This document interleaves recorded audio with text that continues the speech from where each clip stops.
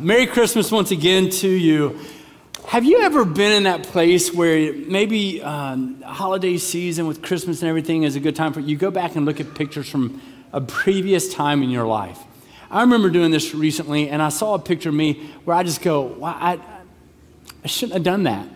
Any, anybody look back at pictures and said, "Man, I, you just you know that you don't fit in with wherever you are. It just didn't work." I remember when I was like seven, eight years old, I lived in South Alabama at the time, and um, I had this little basketball outfit on. And back then, basketball shorts were actually shorts. Like they were like, they were up there, you know? I had basketball, basketball shorts on, I had the tank top on. And you would think that if I'm wearing that outfit, and by the way, yes, I, I wore this to church. Um, you would think that if I'm wearing that outfit, what shoes did I have on?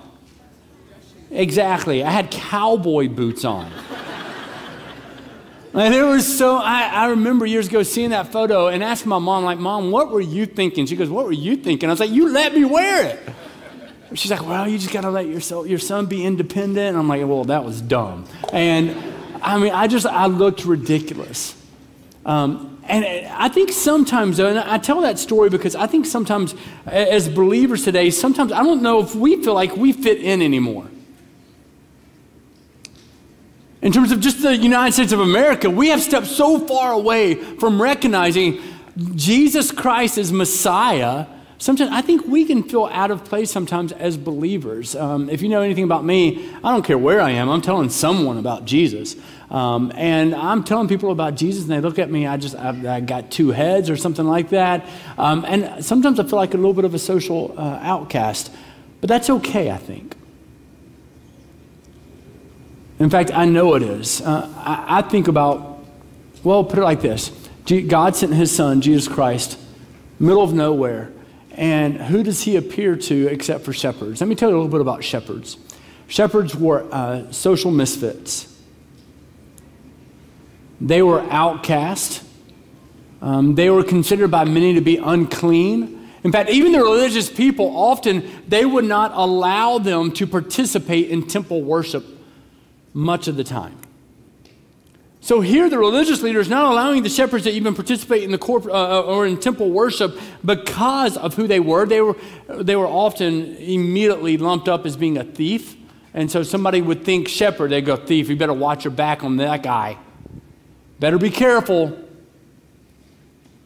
And so I, I, I, look at the shepherds and go, here are people who are unpopular, they're social misfits, they're thieves, they're religious outcasts, right? Their job was both incredibly boring but dangerous. Because much of the time nothing was happening, but if, if, wild animals came and they had to protect the sheep, that's what they were there for, and to make sure that they stayed uh, safe and protected from any of the elements, including wild animals. And so here they are, mostly boring in their job, tedious, but also dangerous at times. And yet, God chooses to go to them of all people, the very ones that most of us would not be comfortable around. God goes to them. First to an angel, then a heavenly host to say, hey, guess what? Guess what? Here's what Luke chapter 2 says, verse 16 and following. The angel has already come, and the heavenly host is just, they're like, oh, check this out, and glory to God in the highest. And it tells us they went with haste and found Mary and Joseph and the baby lying in a manger. And when they saw it, they made known the saying that had been told them concerning this child. And all who heard it wondered at what the shepherds told them. But Mary treasured up all these things, pondering them in her heart.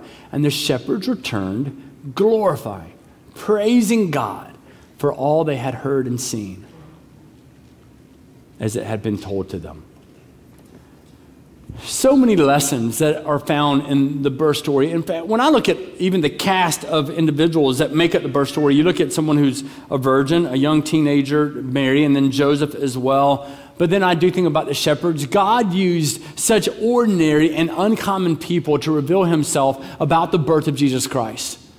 Again, I do believe that God coming to the shepherds is significant because the first of three lessons that we have to learn today is that Jesus came for absolutely everyone. Jesus came for everyone. And so if you sometimes feel out of place, like you just you don't belong somewhere. And again, more and more, I feel like that in life. And sometimes I just don't feel like I belong. Um, it doesn't matter what I go to. And um, I'll, I'll give you another illustration. Sometimes I can go to a sporting event. I just don't feel like I belong sometimes. I like to go to sporting events to hang out with my friends who are going to the sporting event. But I just don't really care. That's why I make fun of Michigan and Georgia where I went. I don't, I don't care. I'm not saying it's bad to not cheer and have a good time, and it'll be great when Georgia beats Michigan in the national championship. It, it's good, but I don't care. I, I, I really don't. And so I can go other places, and I remember when the first year I was here, I actually went and I had to, I bought a Michigan T-shirt. I was like, I'm going to fit in. I still, I don't even look natural on me. right? It's a weird gold color. It just doesn't work. And you know, I just didn't feel like I fit in. And sometimes we feel that way, but I think that's okay.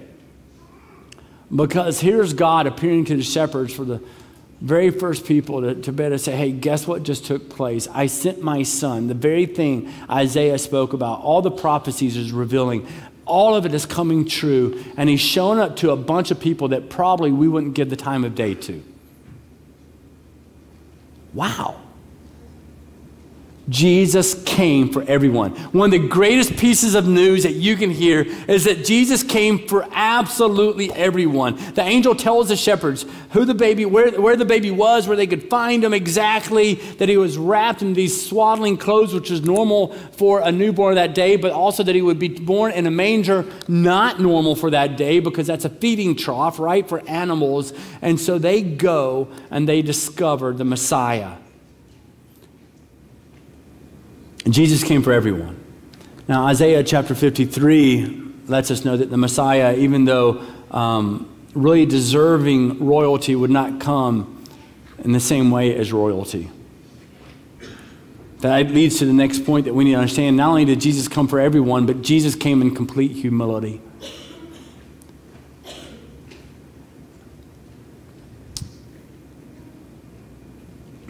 Prideful people struggle with a humble king. Prideful people struggle with a humble king. It's the issue and the, the problem that we're having today in our world is that we are so focused and concerned with ourselves and that we have made our, we've elevated ourselves in such a way that is prideful. And prideful people struggle with a humble king. We don't understand why jesus would come in this way. And in fact let me even go further with it. The reason that we struggle with a humble king is because who do we want to often be like? We have somebody in our lives that we want to emulate. We have somebody in our lives that sometimes we want to look like. When i was growing up there was, um, I grew up in the time frame with basketball. I'll, go, I'll stick with that theme right now with my cowboy boots and my, my tank top and my short shorts that I had on. But the greatest player of all time was in my generation. His name was what? Michael Jordan. Um, if you say any other name, you feel you just feel welcome to leave. Um, Michael Jordan, right? And so I remember the first, the basketball shoes, the first Air Jordans, and they were black and red. And my friend John Swinehart, he was my neighbor when I was living in South Georgia at the time, he got a pair, and I was like, man, black and red shoes, that's just ugly. And then he's like, these are Michael Jordans. I was like, oh, those are amazing. Because all of a sudden you start wearing certain things and you start dressing in, in a, a, particular way and you're wanting to emulate certain people. Here's the problem that we're having though, is that so often we're looking for a king that has what we want rather than what we need. And so we're trying to look like other people and we're trying to be like other people and we want to we want to have the same things that some other people have in our own lives and we have to be really cautious with this because if we're not we end up looking for a king that has the very things that we want in the world but nothing that we need when it comes to spiritual freedom in life. That's, that's the issue that we're having today is that we want to look with a certain way. We want to have a certain swag even about us. Someone told me recently, they're like, Pastor, you look drip. I said, drip? Like, that's a real thing today. I, I thought that was a faucet that hadn't been turned off all the way. I'm like, what has happened to our education system? Amen? And, and we want to look at individuals and we want to emulate them and we want to make sure we have on the right shoes and the right clothes and that we dribble the ball a particular way. We study them or we study a musician who does things in a certain way. Uh, friends, too many times we're looking for a king that has what we want, what we want rather than what we need. And Jesus came in humility, and I can promise you, our world needs more humility. We're looking for a king that looks like something we desire to be rather than the one that brings freedom and peace and kindness and gentleness and tenderness. And so here comes Jesus. He's coming for absolutely everyone, but he's also coming in humility. It forces us, we have to look at that and go, do we want a humble, gentle, tender king? We know that's how Jesus came, but do we act, do we want that? Are we willing to follow that type of king? So he comes for everyone. He comes in humility. And here, the shepherds are going to even discover that king.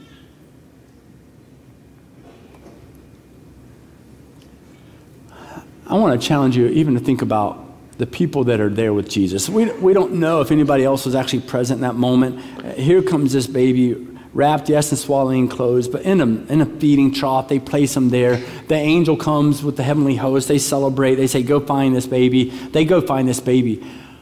Have you ever thought about what even Mary and Joseph, but others would have thought, who, whomever might have been present when the, when the shepherds showed up, remember, social outcast. You didn't hang out with them. Too often today, I think that maybe if that represented the church, meaning the nativity scene, if that represented the church, we would have put our arm up and said, Hold up, not you guys. But here comes this king of humility stepping into the world.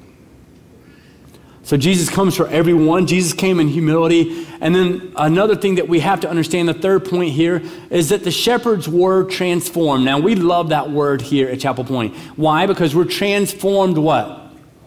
Yes. We're transformed followers. And here are the shepherds.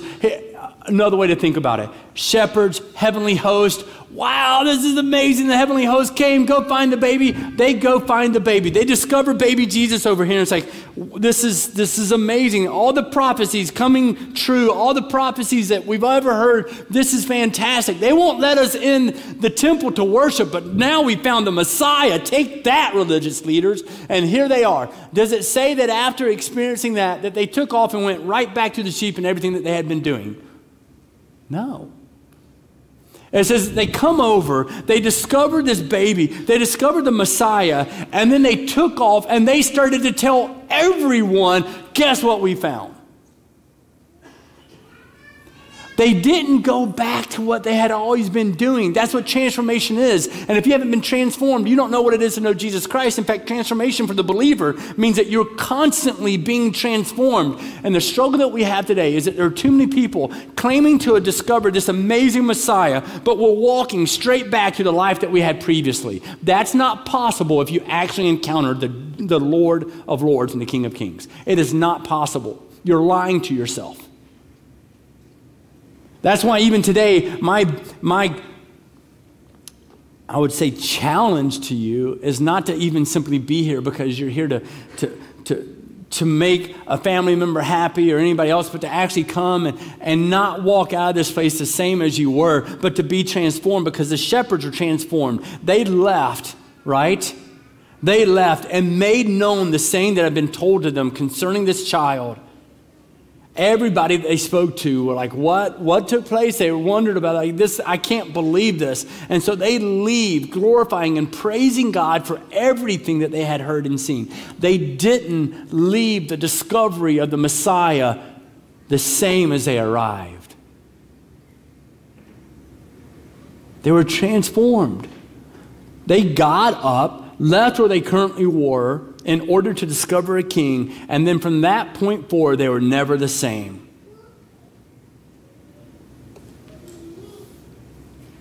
And so the challenge is not to stay where you are.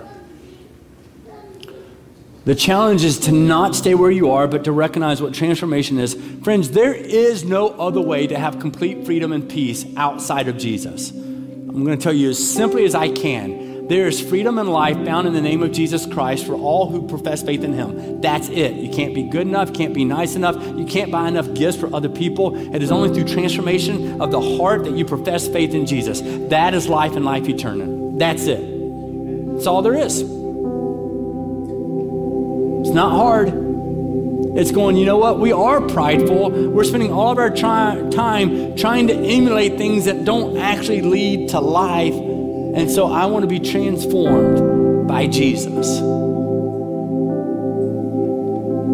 And you're okay being a, a social outcast, a misfit. You're okay with others looking at you the same way they looked at the shepherds. Remember, they would have looked at them and said, Nope, you can't come in here. That's what that would have happened in the temple. They would have looked at, at the shepherds and said, Man, they, they got to be a thief. You, you better be careful around them. I came to the place a long time ago where I just concluded it's okay if others look at me a little funny. I know Jesus. It's okay if people look at me as though I'm a social outcast at times. I know Jesus. And I know that the transformation in my life is so great, I will walk away from declaring the birth of the Messiah and I will declare his greatness. I will worship that king. It doesn't say that just a little baby came, oh, that's cute and that's cuddly. It says that in the birth of that baby, a king came a Messiah came. That'll wake you up. That's Christmas. A king has come. A king changes everything. A king ushers in a new way of doing things, a new way of thinking, a new way of walking, a new way of talking. You don't care if the world looks at you in a weird way because you know freedom, because He is the bread of life. You will never hunger or thirst again because He has provided the food that you need. And so it doesn't matter if you're the Samaritan woman who is desperate for water, desperate for freedom, desperate for peace. It doesn't matter if you're the person who is blind, Jesus can make you see again. It doesn't matter if you're one of the shepherds and you think everybody else is declaring that you are a social outcast. Friends, it does not matter where you've been and what you have done. Jesus Christ came for everybody, He is the ultimate king. People in this world do not get to decide that. God's already declared it. Jesus came for everyone. That's why we're here on a Sunday morning, Christmas Day, to worship the King of Kings. Lord, I come before you and I thank you for coming for everyone. I thank you for coming in humility. I praise you that we get to be transformed by discovering the birth of the Messiah.